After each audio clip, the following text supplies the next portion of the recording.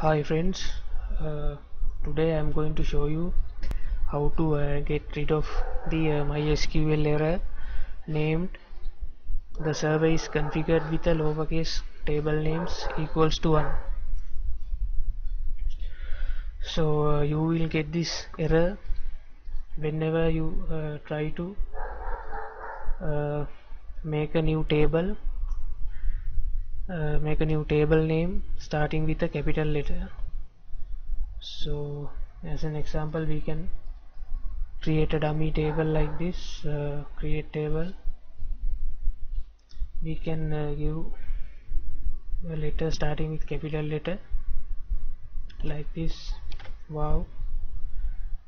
And uh, for this uh, table creation we will add some uh, example column like id wow and then uh, when we click apply you will get this error message saying uh, the server is configured with lowercase table names equals to 1 so if you want to uh, disable this feature uh, you, what you can uh, do is you can uh, go to this MySQL workbench and in the left side there is a uh, option called options file.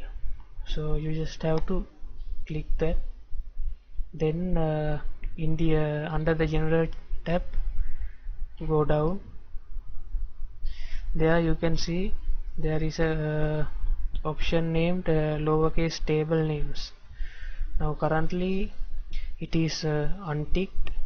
If you want to uh, change the uh, values of that variable. What you have to do is you need to tick that option.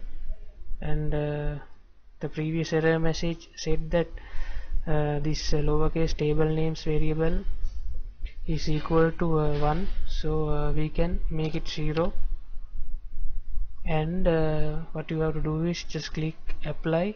And after applying what you have to do is you need to exit from the server and you need to restart the server. Without restarting uh, you will get the same error. So after you uh, configure this variable you need to uh, shut down the server and start it again. So now I'm not going to uh, do that. But uh, now I mean uh, now I'm not going to uh, change the variable. So after you change the variable you just click apply. Then you can close from the server and you can uh, start the workbench again. And you can uh, enter your password. And uh, now the service is up and running. So uh, the changes will be uh, done to your server. If you are interested in uh, more technical related videos like microcontroller programming uh, C sharp language tutorials and database tutorials and other technical stuff you can uh, do subscribe to my channel.